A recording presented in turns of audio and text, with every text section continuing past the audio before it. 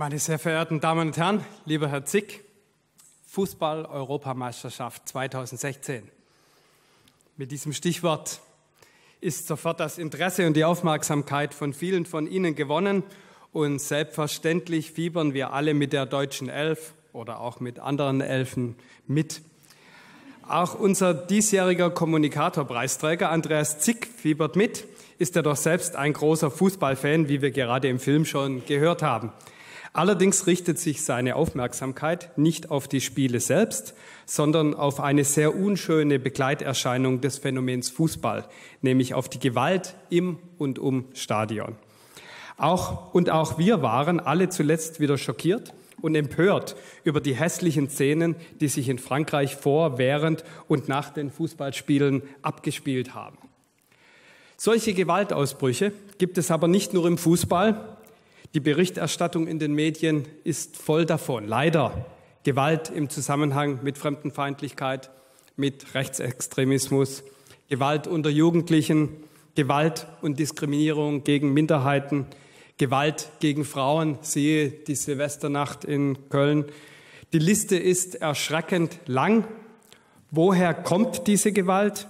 Woher kommen Rassismus, Extremismus, Vorurteile, Menschenfeindlichkeit? Was sind die Formen und Folgen innergesellschaftlicher Konflikte, Diskriminierung und Gewalt? Wie kann man das zugrunde liegende Gruppenverhalten erklären, wie den Einfluss des Internets und moderner Kommunikationsformen auf deren Entstehung? Durch was werden diese Phänomene befeuert? Wie kann man sie eindämmen? Welche präventiven Maßnahmen sind geeignet? Dies sind Fragen, mit denen sich die Konfliktforschung ein Teilgebiet der politischen Soziologie mit vielen wichtigen interdisziplinären Querverbindungen, zum Beispiel zur Psychologie und zur Theologie, beschäftigt. Der Preisträger des diesjährigen Kommunikatorpreises, Andreas Zick, ist ein international besonders ausgewiesener Wissenschaftler auf diesem Gebiet, der sich seit 20 Jahren mit diesen Themen und genau diesen wissenschaftlichen Fragen beschäftigt. Zuerst ein paar Worte zum Werdegang von Andreas Zick. Nach dem Studium der Theologie, Sozialwissenschaften und der Psychologie in Essen und Bochum war er von 1990 bis 2005 wissenschaftlicher Mitarbeiter und Assistent am Fachbereich Gesellschaftswissenschaften der Bergischen Universität Wuppertal. 1996 wurde er bei Ulrich Wagner, den wir ja gerade im Film schon gesehen haben, an der Fakultät für Psychologie der Philipps-Universität Marburg mit der Dissertation Vorurteile und Rassismus, eine sozialpsychologische Analyse zum Dr. Reanat promoviert. Die Arbeit entstand im Rahmen eines durch den bekannten Psychologen und Gruppendynamikforscher James S. Jackson betreuten internationalen Forschungsprojektes zur Ausgrenzung ethnischer Minderheiten in Europa im Zusammenhang mit dem Institute for Social Research der University of Michigan in Ann Arbor in den USA. 2006 und 2007 vertrat er die Professur für Sozialpsychologie an der Technischen Universität Dresden und 2007-8 eine Professur an der Friedrich-Schiller-Universität in Jena. 2009 habilitierte er sich in Psychologie an der Philosophischen Fakultät der Martin-Luther-Universität Halle-Wittenberg mit der Arbeit Sozialpsychologie der Akkulturation, Neufassung eines Forschungsbereiches. Vermutlich daher kommt Ihre Freude an diesem Wort. Seit 2008 ist er Professor für Sozialisation und Konfliktforschung an der Universität Bielefeld und seit 2013 leitet er dort als Direktor das Institut für interdisziplinäre Konflikt- und Gewaltforschung. In seiner Forschung beschäftigt sich Andreas Zick mit theoretischen und empirischen Analysen zu unterschiedlichen Formen, Ausmaßen und Ursachen von innergesellschaftlichen Konflikten, Diskriminierung, Vorurteilen, Gewalt und Menschenfeindlichkeit. Um Ihnen ein Gefühl für die Vielfalt der Forschungsthemen zu geben, seien beispielhaft ein paar ausgewählte Forschungsprojekte genannt. Zum Beispiel Radikalisierung zur Gewalt, systematischer Vergleich der Ursachen islamistischer Gewalt mit School-Shootings oder Wege in den Islamismus, Analyse der Sozialisation von jungen Menschen zum extremistischen Islamismus oder ganz aktuelles Projekt, die Dynamiken von Peer-Netzwerken und deren Einfluss auf Jugenddelinquenz. Viele von ZIGs Forschungsthemen sind von hoher Aktualität und stehen gerade in diesen Monaten im Mittelpunkt der gesellschaftlichen und politischen Debatte, so etwa die Diskriminierung von und Gewalt gegen ethnische und religiöse Minderheiten oder radikale Einstellungen und Gewalt von Jugendlichen und natürlich ganz aktuell von Fußballhooligans. Mit diesen Themen beschäftigte er sich aber nicht erst im Zuge der aktuellen Ereignisse. So befasste er sich schon in sein, so befasste sich schon seine Diplomarbeit aus dem Jahr 1988 die er übrigens wie alle seine Abschlüsse mit Auszeichnung bestanden hat, mit Ideologie als Gruppenphänomen, Studien zur Einstellungsänderung im Kontext von Gruppen. Andreas Zick ist auf seinem Gebiet international bestens ausgewiesen. Seine Publikationsliste umfasst 17 Seiten. Viele Artikel sind in den angesehensten internationalen Zeitschriften veröffentlicht. Er selbst ist in den Herausgeberbeiräten von fünf internationalen Zeitschriften aktiv. Unter anderem ist er Chief Editor des International Journals of Conflict and Violence Research.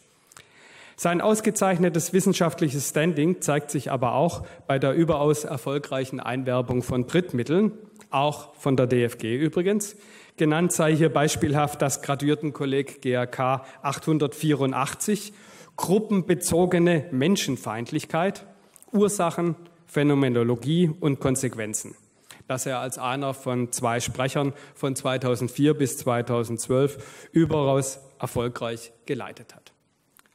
Heute soll aber nicht, zumindest nicht nur, die wissenschaftliche Exzellenz der Forschung von Andreas Zick im Vordergrund stehen, sondern die engagierte mediale und öffentliche Vermittlung dieser Forschungsergebnisse. Und hier ist es bei Herrn Zick für einen Laudator eine sehr schwierige Aufgabe, sich kurz zu halten, auch wenn ich die halbe Stunde, die Herr Strohschneider sich schon verschrieben hat, auch hier mit Sicherheit einhalten werde. Und hier ist es bei Herrn Zick äh, vor allem auch, Entschuldigung, vor allem auch, da er diese Vermittlung ebenfalls, nicht nur die Forschung, vom Beginn seiner wissenschaftlichen Karriere an als wichtigen Teil seiner Arbeit betrachtete. So thematisierte er zum Beispiel bereits in den 1990er Jahren in Buchveröffentlichungen, Zeitungs- und Zeitschriftenbeiträgen die zunehmende Ausländerfeindlichkeit in Deutschland.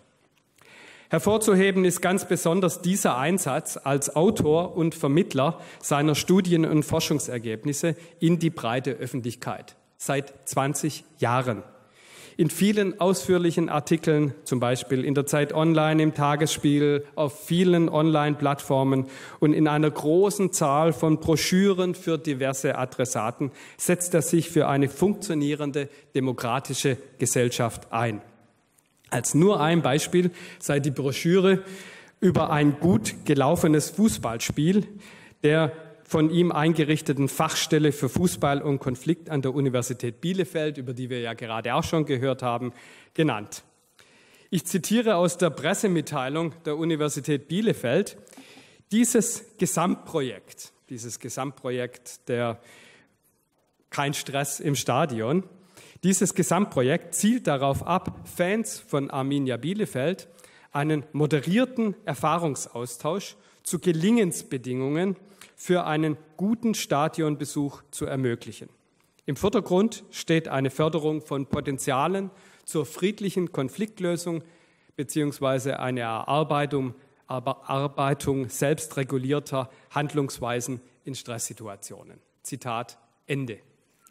Bereits hier sehen Sie, dass Herr Zick, dass Herr Zick überaus diversifizierte und zielgruppengerechte Kommunikationskanäle wählt. So zum Beispiel auch seine Facebook-Seite oder sein Twitter-Kanal, die sich beide vor allen Dingen an Jugendliche, aber auch an ein allgemeineres Publikum wenden. In Zusammenhang mit seinen Beiträgen als Autor möchte ich auch ein paar Zitate aus der Juryarbeit in die Laudatio einfließen lassen. Zick ist sprachlich begeisterungsfähig, sagt ein Juror in der Sitzung, wohlgemerkt. Schreibt toll, hat überzeugende Argumente, werden als weitere Qualitäten genannt. Und am tollsten ist, dass die Argumente offensichtlich auch etwas bewirken, wie man zumindest teilweise an den Fans der Arminia Bielefeld in den letzten Jahren sehen konnte. Also ich habe versucht nachzuvollziehen im Internet, ob die Hooligans aus Bielefeld sich anders verhalten als andere Clubs. Und ähm, zumindest klang es so, als ob meistens die anderen schuld gewesen wären. Zu den getexteten Beiträgen kommen dann noch zum Beispiel über 90 Vorträge allein in den letzten beiden Jahren mit nicht primär akademischem Publikum, unter anderem in Schulen und Kasernen. Über die eigene Autorenarbeit hinaus ist Andreas Zick in den Medien besonders präsent mit Interviews, Vorträgen, Auftritten auf einer Vielzahl von Veranstaltungen, haben wir auch gerade im Video schon gesehen, und so weiter. In der GBI Genius Datenbank für elektronische Presse und Wirtschaftsinformationen sind über 1200 Einträge zu Andreas Zick zu finden. Allein in den letzten beiden Jahren hat er über 100 Interviews ge gegeben, hatte 50 Auftritte in TV- und Radiosendungen und auf Pressekonferenzen. Einem größeren Publikum ist Andreas Zick zum Beispiel durch die ARD Themenwoche Toleranz bekannt, bei der er allein 2014 an über 30 Sendungen mitwirkte. Wenn man das alles so zusammenrechnet, ergibt sich daraus, rein rechnerisch, jeden zweiten Tag ein größerer öffentlicher Auftritt. Alle Achtung, Herr Zick, dass Sie neben all diesen Aktivitäten noch zum Forschen und Lehren kommen, ist schon außergewöhnlich. Über die Medienarbeit und seine intensive öffentliche Vortrags- und Veranstaltungstätigkeit hinaus bringt Herr Zick seine Expertise zudem in zahlreiche Gremien, Kommissionen und Organisationen ein. Unter anderem in den Expertenkreis der Bundeskanzlerin zum Dialog über Deutschlands Zukunft, den Rat für Migration, dessen stellvertretender Vorsitzender er auch seit 2014 ist, oder den Expertenbeirat des Deutschen Forums für Kriminalprävention. Mit seinen Aktivitäten im politischen Raum beabsichtigt er, politische Entscheidungsträger zu sensibilisieren und, ich zitiere hier einen der Gutachter, somit das Agenda-Setting für mittel- und langfristige Richtungsentscheidungen entscheidend mitzuprägen. Zitat Ende.